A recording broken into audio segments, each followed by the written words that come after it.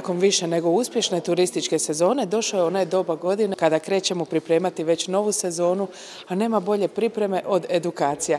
Naravno, turistička zajednica Splitsko-Dalmatinska županija uvijek organizira besplatne edukacije, a ovaj put je to za privatne iznajmljivače. Koje su nam teme i što ćemo sve danas naučiti? Tako je ovaj put u suradnji sa Hotspotsom radimo jednu konferenciju koja je u stvari, kao što ste rekli, jedna velika edukacija. Dakle, naučit ćemo kako se digitalno prezentirati u najboljem svjetlu u ovim najnovijim uvjetima. Isto tako vidjet ćemo koje su najnovije inovacije na području Splitsko-Dalmatinske županije, dakle i kao teritorija, a isto tako i kao institucije. Dakle, sve najnovije stvari i vidjet ćemo kako se treba oglašavati, digitalne inovacije, e, šta sve napraviti, šta je novo, šta pratiti i kako se ponašati u najnovijim uvjetima i najnovijim novo normalno. Turistička zajednica Splitsko-Dalmatinske županije pionir je u digitalnom oglašavanju i zato upravo imate i zavidne brojke.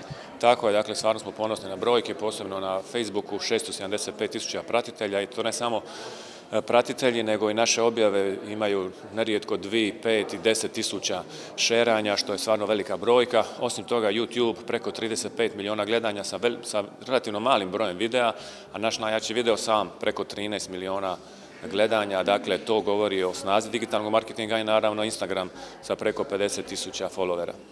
Iako su ponovo sajmovi zaživili, kakvi su planovi za budućnost? Da li će se ići po sajmovima ili će se šta više ulagati u ovaj digitalni marketing? Od sajmova se neće odustati, ali će se naravno ulagati sve više u digitalni marketing, jer marketing mix je ono što je najvažnije za marketing destinacije. Dakle, ne samo sajmovi, nego dolazak novinara, agenata, objave u stranim medijima, digitalni marketing, sve to, sutra, sve to skupa se treba kombinirati kako bi imali maksimalni mogući impakt.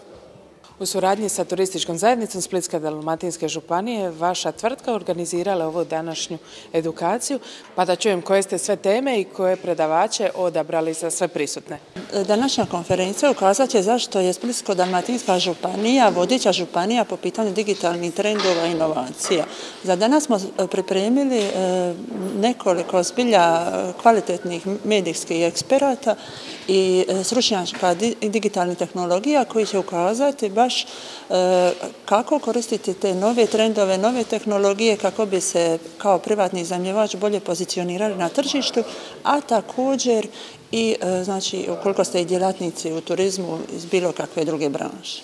U ovim teškim vremenima sam booking se prebacio kompletno na online, Također, e, što se tiče tema i e, znači ono što e, turiste najviše traže, znači oni traže jednu brzu, dostupnu informaciju, a također mi ćemo kroz ove platforme koje će se danas predstaviti ukazati kako se može također i dodatno zaraditi, ne samo na svome proizvodu, nego na dodatnim uslugama. Vi ste prvi predavač na današnjoj edukaciji, pa da čujemo što će svi polaznici moći čuti i naravno naučiti od vas. Pa tema današnjeg predavanja je digitalni nomadi i nove tehnologije.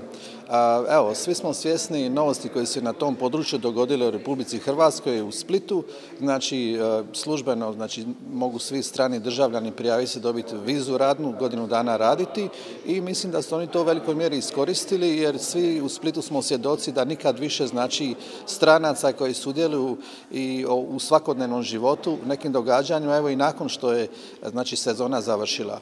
Prema nekim brojkama preko tisuću i pol nomada je bilo u Splitu digitalni ove godine i mi ih jednostavno vidimo i u nekim događanjima koji ne pohađaju klasični turisti.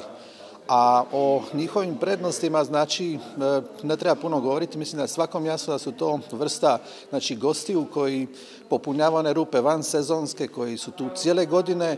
Osim toga, ovaj, oni su visoke platežne moći, ali ne samo to. To su gosti znači i sa nekim dodanim vrijednostima što bi rekli znači imaju neka tehnološka znanja, uključuju se znači i u našu e, digitalnu zajednicu, lokalnu, pohađaju nekakva predavanja, druže se, tako da jednostavno ovaj, mnoge koristi vidimo od digitalnih nomada. Zbog pandemije koja nas posljednje dvije godine prati, koja je sve prisutna u našim životima, morali smo se prilagoditi, morali smo uvesti neke inovacije, ali očito je sve to skupo urodilo plodom jer iza nas je više nego uspješna turistička sezona.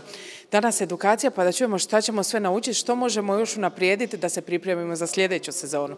Pa dobro ste rekli, znači, a, e, znači pandemija je bila jako izazovno razdoblje, ali ono što treba e, imati na umu da su komunikacijske promjene bile počele prije pandemije.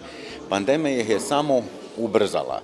Znači, i ono što trebamo imati posebno na umu, da e, priobalno područje generalno, a onda Splitsko-dalmatska županija posebno, e, je uvijek bila ta koja je jako brzo uvodila inovacije, upravo zbog toga i ja bih rekao da je ključni razlog su bili znači privatni iznajmljivači i hotelijeri, znači koji su u principu radi svojeg poslovnog modela uvodili te komunikacijske promjene.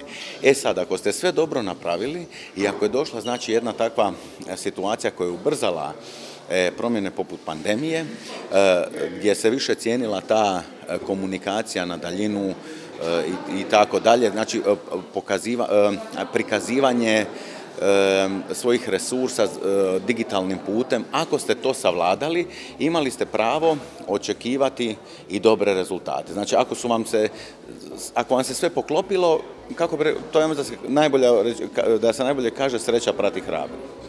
Koji su onda savjeti šta da radimo ove zime da bi sljedeće godine možda već za uskrs nam stigli prvi turisti?